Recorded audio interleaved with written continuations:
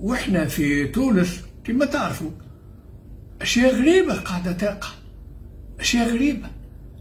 لأن اللي عندنا المستبد اللي عندنا من مرحلة الفوضى والجنون تحول إلى مرحلة ال ال الكوارث وفقدان العقل. ولا بالله في قوسين. العياشي الزمالك راق في فرشه مجرد أنه ترشح للرئاسة كأي مواطن حر.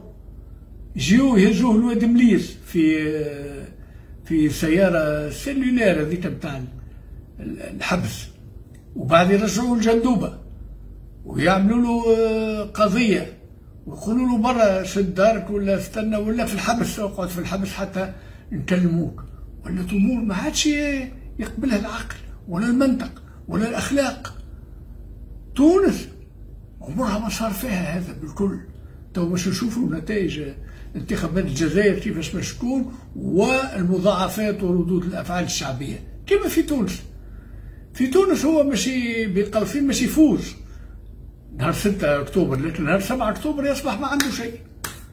لا شكون يعطيه قروض لا شكون يجيب له مواد المعيشية لا دول تعترف به بل بالعكس باش يصنفونا مع الدول المهزلة.